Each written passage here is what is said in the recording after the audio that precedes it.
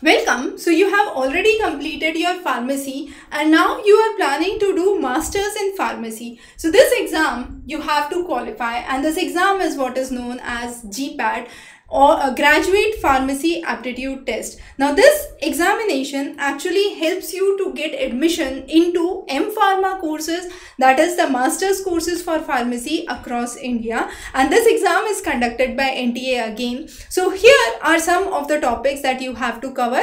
The syllabus is not pretty difficult. It's exactly what you have done in your graduate in your B pharmacy and here are some of the topics that you would have to understand and cover as you prepare for this examination. So mainly the chemistry, the physical, inorganic, organic chemistry, the pharmaceutical, pharmacology, pharmacognosy are some of the important topics that you have to cover. And then fundamentals and basics of other important topics are also part of it. So if you have any questions or queries, feel free to connect back to us. We'll be more than happy to resolve your doubts and queries. Uh, thanks for joining in and this would actually be really useful for you as you start to work for it in a more precise and a detailed way. Thanks for joining in. Have a wonderful day ahead.